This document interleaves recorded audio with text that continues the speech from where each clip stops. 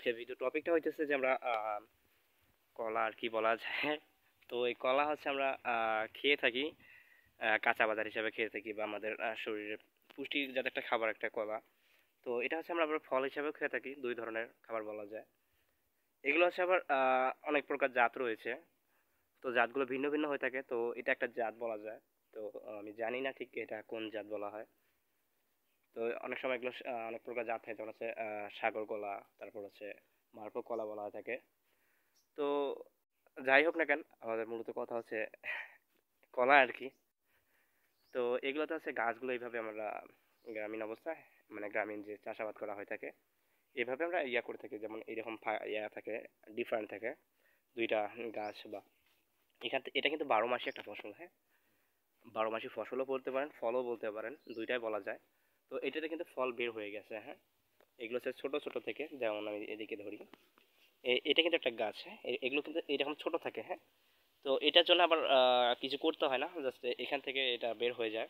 ছোট ছোট আকারে বের হয়ে আবার একটা যখন এটা যখন আবার কাটা পড়বে, তখন ওইটা থেকে আবার বের হবে হ্যাঁ? এইভাবে হয়ে থাকে। তো এটাতে কোনো যেমন কিনো ইয়া হয়ে থাকে না, পরিশ্রম বলা যায় এটা হয় না, বা আবার তেমন খরচ হয় না, যেটা আমাদের অল্প খরচের মধ্যেই হয়ে থাকে। তো এ দেখাই। এটা কিন্তু অনেক বড় আকারের সাইজ আর কি বলা যায়, যে কলাগুলো। সম্ভবত এটা মারপুক কলা বলা হয় থাকে তো এই কলাগুলো হচ্ছে আমরা ফল হিসাবেও খেয়ে থাকি, যেটা আমাদের শরীরের জন্য খুব দরকারি। আর এটা হচ্ছে আমরা বারো মাসই বলা যায়। আমরা সব সময়ে পাওয়া যায় শীত, বর্ষা গ্রীষ্ম, যাই বলেন না কেন। আর এগুলো হচ্ছে আবার আরেকটা আমি বিষয় দেখাই, এই যে আমরা কলার নিচে যে কলার যে একটা ইয়া বের হয় থর বলেন, যা বলেন, তারপর হচ্ছে পীর বলেন, যে গ্রাম অঞ্চলে যেরকম ভাষায় মানে সব জায়গায় আলাদা আলাদা ভাষা ব্যবহার করা হয়ে থাকে। তো এই যে কাছে নিচের যে অংশটা দেখতে পাচ্ছি আমরা, লাল, তো ওইটা কিন্তু আমরা আবার তরকারি হিসেবে খাইতে পারি মানে যেটা কাঁচা বাজার বলা থাকে। তো ওভারঅল দেখা যায় যে আমরা ফল হিসাবে খাইতে পারি, আবার এগুলো কলা আবার হচ্ছে আমরা কাঁচা বাজার মানে তরকারি হিসেবে খাইতে পারি, আবার নিচের অংশটা খাইতে পারি। তো সব দিক দিয়ে এটাকে বলা যায় যে অল্প খরচের মধ্যে আমরা চাষাবাদ করতে পারি হ্যাঁ? যেটা আমাদের অনেক আমাদের যে অনেক সময় অপরিত্যক্ত জায়গাগুলো থাকে, এগুলো কিন্তু সব জায়গায় হয়ে থাকে হ্যাঁ?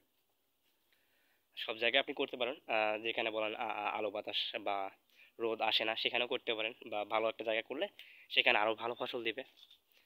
তো নেক্সট কোনো ভিডিওতে আবার এই কলার জাত যেগুলো রয়েছে আলাদা আলাদা, তারপর কীভাবে কোন মাটিতে ভালো একটা ফসল দেয়, এই বিষয়গুলো নিয়ে একটু আবার আলোচনা করতে পারব ইনশাল্লাহ তো ততক্ষণ সবাই ভালো থাকবেন। আল্লাহ হাফেজ।